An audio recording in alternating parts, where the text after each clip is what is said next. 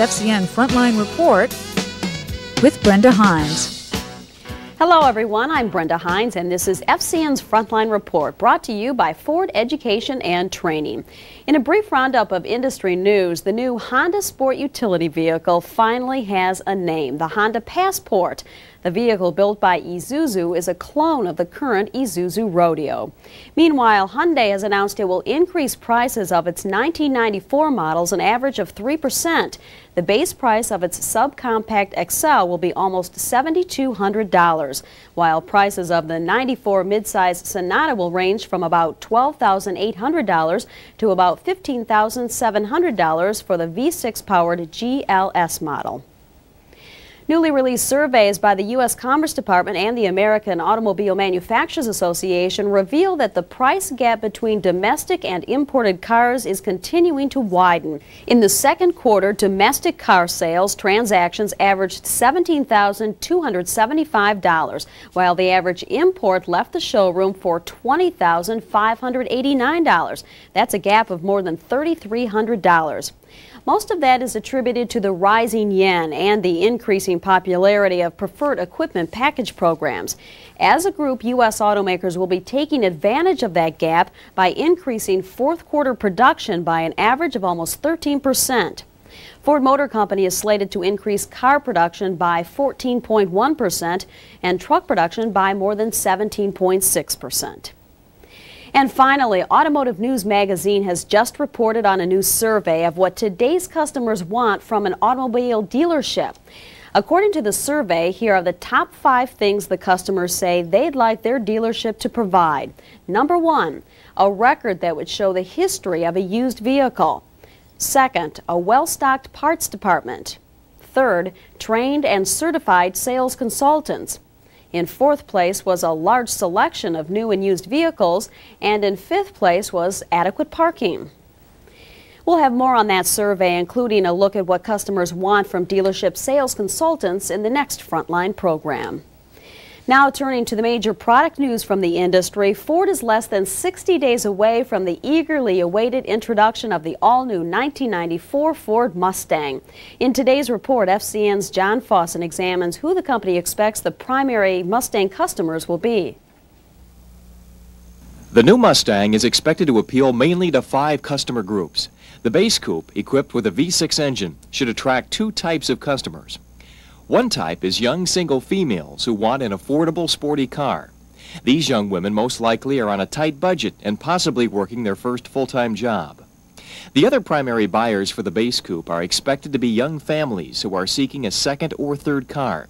Although both spouses work, men will probably make the purchase.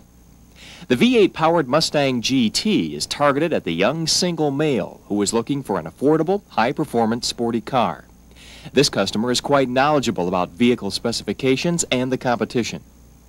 The Mustang convertible should appeal to two main customer groups. One group is mature, married empty nesters who are looking to purchase an additional car. These buyers are expected to have college educations and dual incomes. It's anticipated the other convertible customer group will consist of young, affluent, single individuals who want an attractive, sporty car. Most of these buyers will probably be men. But one thing that is common to all these groups is that the automobile itself is an expression of their lifestyle and it's also a reflection of their own image. Based on early customer and dealer reaction, the company expects to sell every 1994 Mustang it can make. Mustang will be the first of three all-new products Ford will be launching in 1994. It will be followed by a new entry-level vehicle called the Aspire and a new front-wheel drive minivan called the Windstar. Chrysler will also be launching a new subcompact in 1994, the Neon. In fact, they've moved up their job one from November 29th to November 1st. The Neon, which will be marketed by both Dodge and Plymouth, is Chrysler's first subcompact entry in almost a decade. Although the sedan won't be available in dealer showrooms until January, FCN's Rob Marr gives us a sneak preview of the new competitor. The Neon is the first subcompact car to adopt Chrysler's new cab-forward design. The car was derived from a highly acclaimed concept car introduced at the 1991 Detroit International Auto Show. A four-door sedan will be produced beginning November 1st at Chrysler's Belvidere, Illinois assembly plant.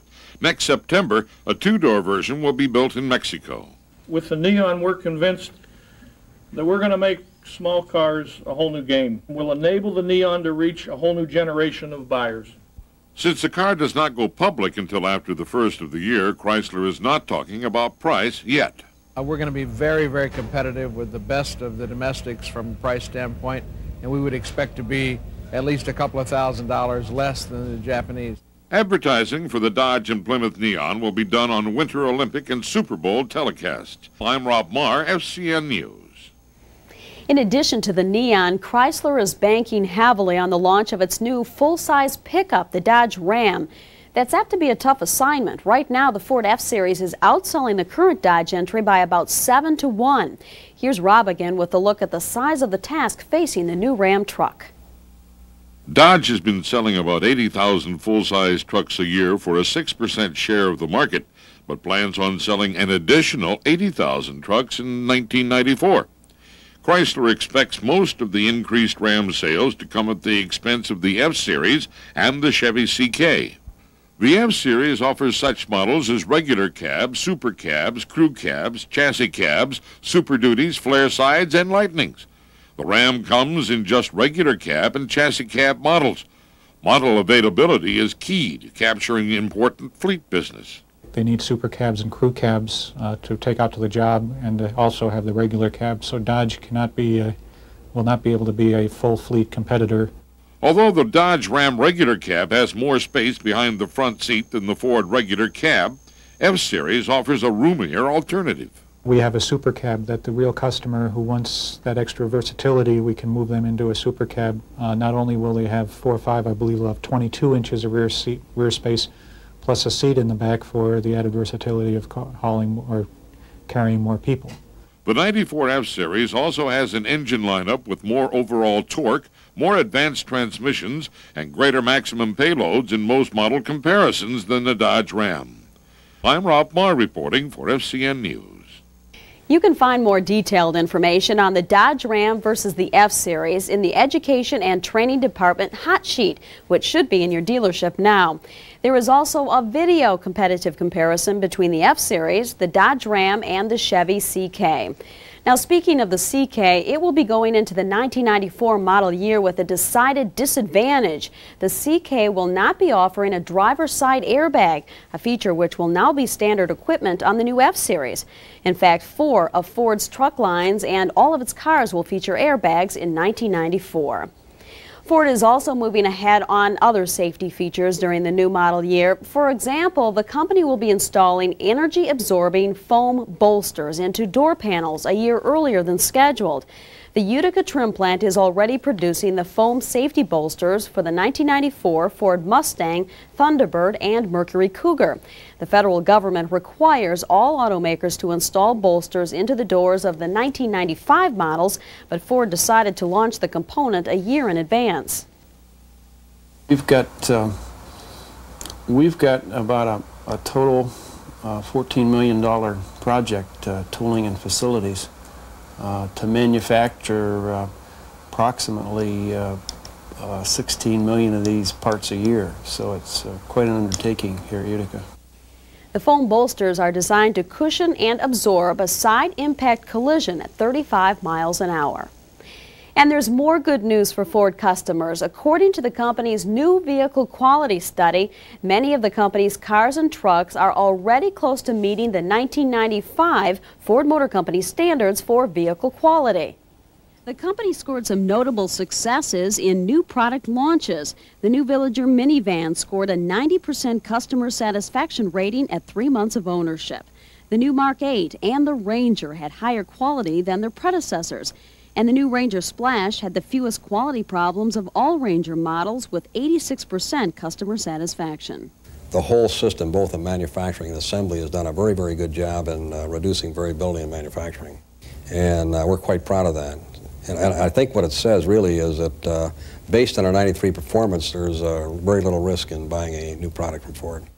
The new Vehicle Quality Survey, or NVQ, is based on a 190 item questionnaire sent to owners of Ford vehicles after three months of ownership. The results are based on 20,000 responses. Third quarter results show Ford's quality level improved 5% over a strong third quarter improvement last year. In customer satisfaction, 82% of Ford owners say they're completely or very satisfied with their new cars and trucks. The company's standard is to reach 90% customer satisfaction at three months of ownership.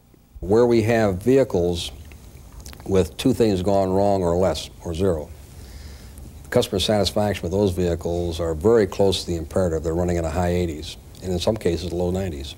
Likewise with uh, truck. Reviewing specific vehicle results, cars with year to year quality improvements include the Mark 8 with a 50% improvement over its predecessor. Also Mustang, Taurus and Sable, Continental, Tempo and Topaz, Town Car, Crown Victoria, and Grand Marquis. All of Ford trucks except the Bronco showed improvement qualities for the third quarter of 1993. In a related quality story, Ford's customer service division is also reporting progress with a program designed to provide quicker feedback about problems with current models. Here's FCN's Cheryl Kane with that story. When dealer service technicians find problems in new vehicles during repairs, a new computer driven system allows dealers to get information back to the company more quickly than in the past.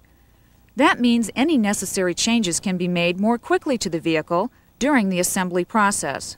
Heretofore, it used to take seven or eight months until the warranty data filtered in.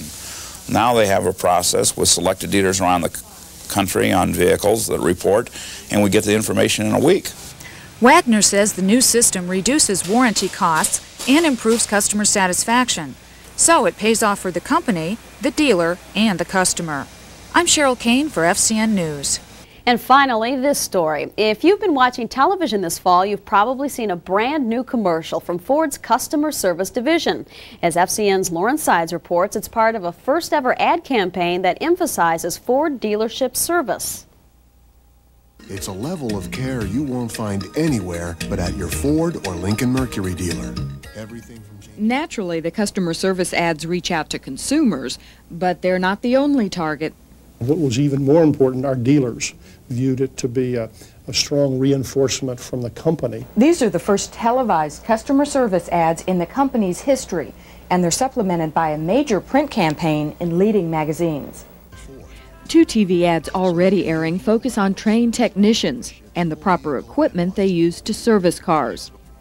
This ad stresses preventive maintenance. We need to enhance the image of our dealers because it is, is in fact a good place to have your car serviced. Quick, expert, and competitively priced. The theme, Quality Care Where the Quality Continues, builds a bridge between Ford's Quality is Job One campaign and the after sale care dealers provide. If they are pleased not only with their vehicle, but the service, then we have a greater opportunity for that uh, next buying decision. And that's the bottom line for any advertising campaign. I'm Lauren Sides reporting for FCN News. Along with developing the new campaign, Ford Customer Service has doubled its advertising budget from previous years. Ford has also increased its advertising budget to capture more Hispanic customers. The Hispanic market is now the fastest growing market in the U.S. Because Ford has been losing market share in that area, a company wide effort is underway to turn that situation around. We'll have a special report on the Hispanic market following Frontline. It's full of information that all sales consultants can use on a day to day basis. You'll also be getting some print materials later this fall. So keep your eyes open for Education and Training's booklet called Earning Your Share of America's Fastest Growing Market, the Hispanic Community. Here at Frontline, we're also trying to expand our services to you. This month, we're introducing a little newsletter that accompanies this program. It's called Between the Lines, and in it, you'll find a synopsis of current news stories about our industry. Between the Lines is an experiment. The last thing we want to do is push more paper at you, so please let us know if you think it's helpful or how we can make it better. And if you come across a story you think would be of interest to other Ford sales consultants around the country, please fax it to us. Our fax number here is area code 313 446 4597. And that's it for this edition of Frontline Report. We hope this program has been helpful and that you'll continue to use the response cards to let us know how we can make it better. Again, stick around for our special report on the Hispanic market immediately following this program. On behalf of Ford Education and Training and the FCN Frontline staff, I'm Brenda Hines. Thanks for joining us.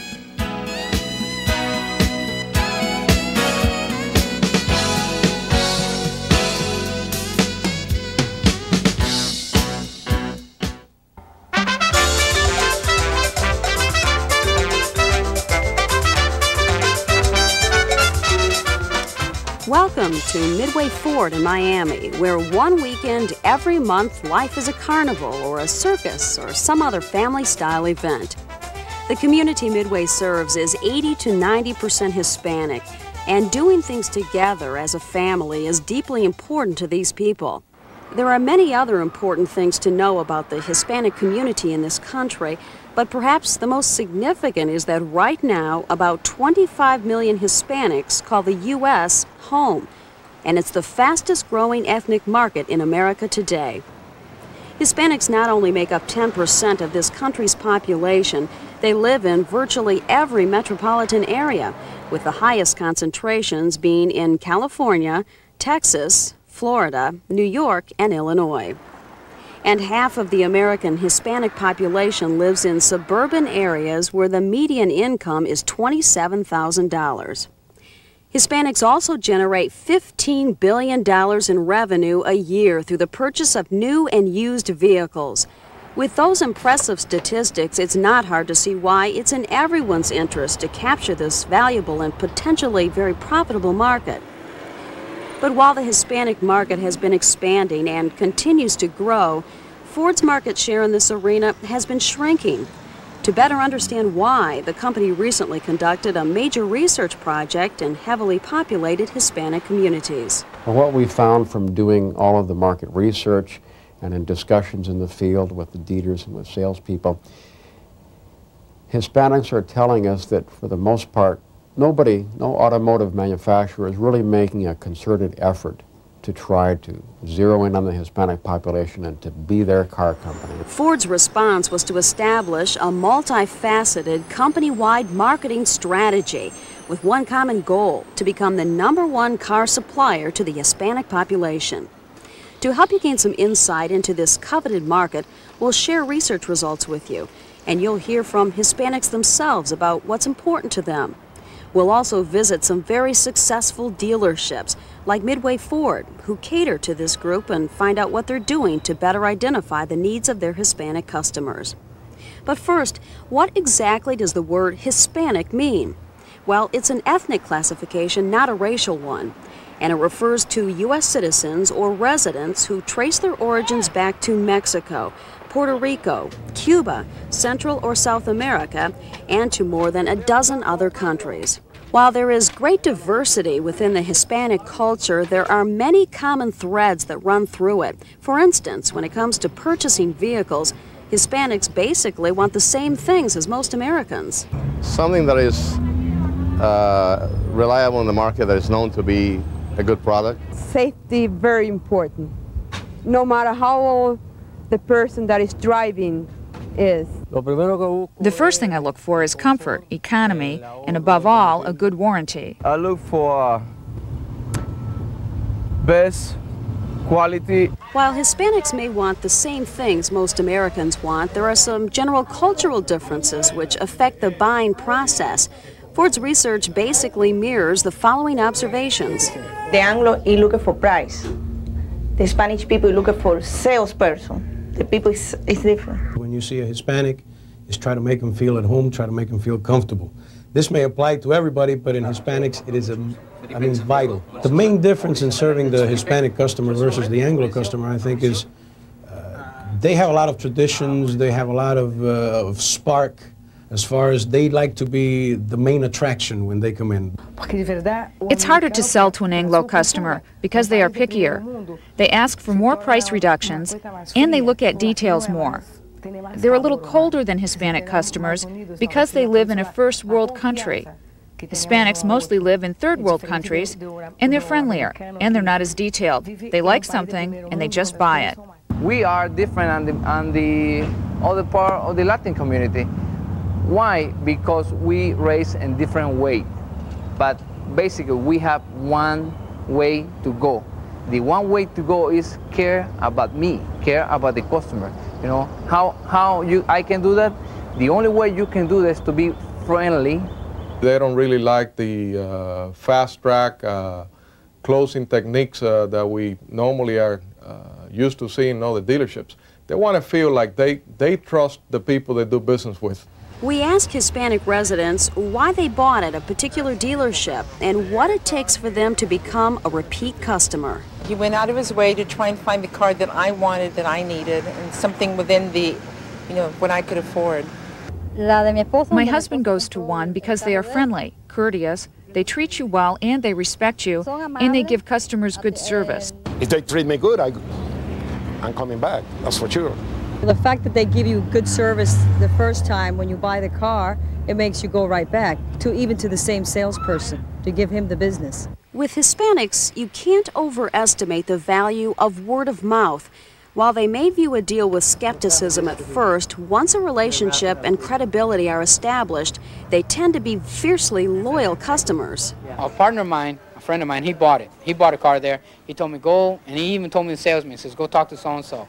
And he goes, and when you talk to him, he's going to be straight with you, he's going to be honest, he's going to tell you the way it is. And it was just like word of mouth. And then after I got it, my, uh, man, I think about three or four of my friends went, they got down, they, they went and got some payments, and they did it too. It's a type of customer that when they, they go to a dealership and they do business with them and they're treated uh, fairly and uh, they're given uh, a good deal, they'll come back and do business with you again and again for years. Uh, they, they like to go back to the same places. They like to do business with people they trust and people they like. Families tend to be bigger. And with bigger families, if you do treat them well, then you end up selling more people. It's that simple. What makes me loyal is the sincerity of the salesperson and the way I'm treated. That will make me go back to the same dealership. Overall, Hispanics place a lot of importance on education and family accomplishments. They tend to have traditional values and are family oriented. In fact, it's not uncommon to involve family and friends in the buying and decision making process.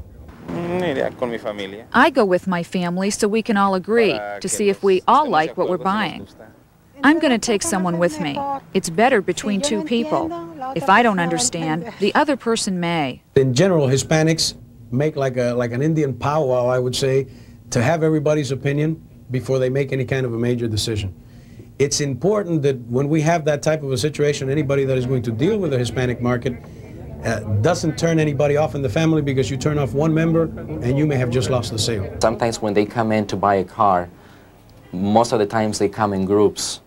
And I mean, you see seven or eight people and it's only one who's going to buy a car.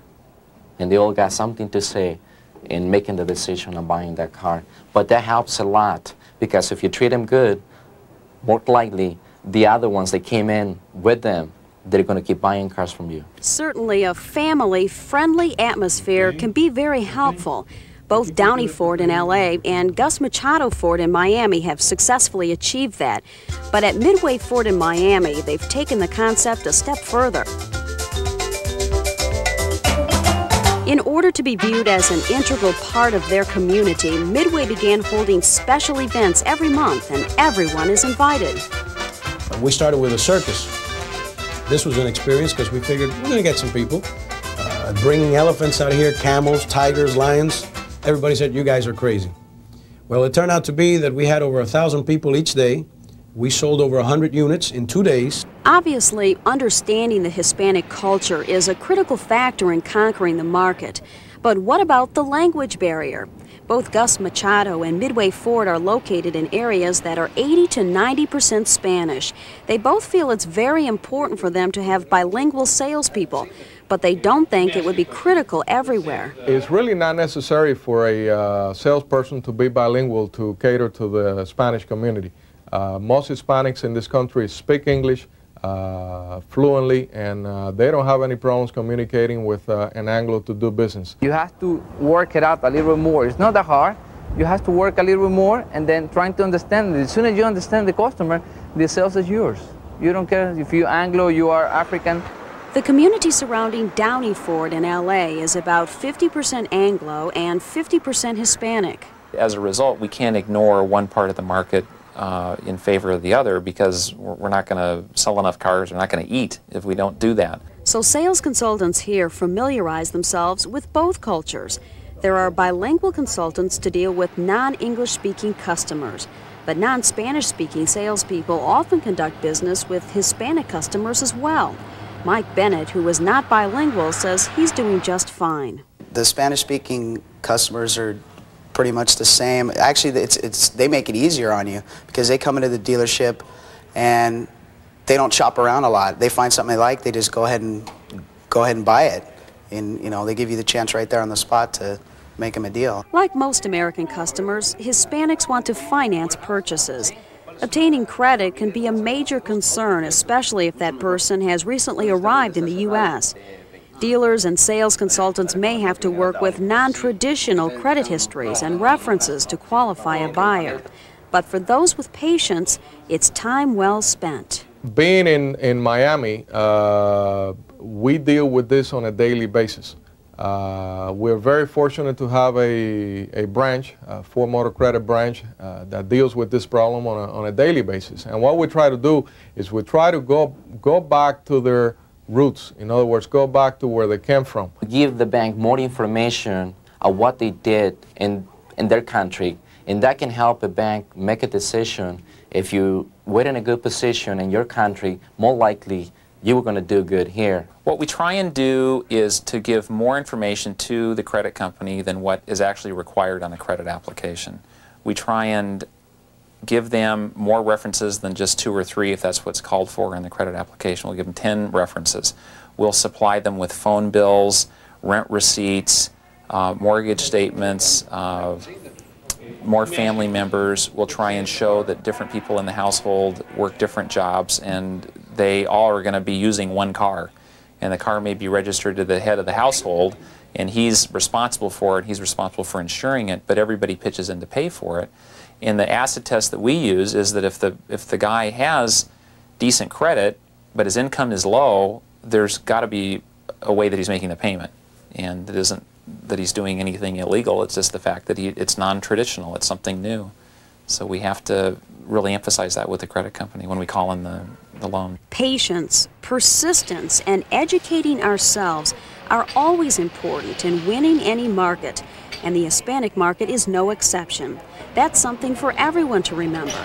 From marketing, merchandising, advertising, field operations, public affairs, credit, education and training, dealers and sales consultants. In every market today in the United States, you have uh, Hispanics, or they could be Mexicans, they could be Puerto Ricans, they could be from Argentina, Brazil, Cuba, any country in Central and South America. I think it'd be real easy for a dealer to ignore this particular group if it's not a big part of his workforce or part of his clientele today. I guarantee it's getting bigger, so you, you ignore it at your own risk.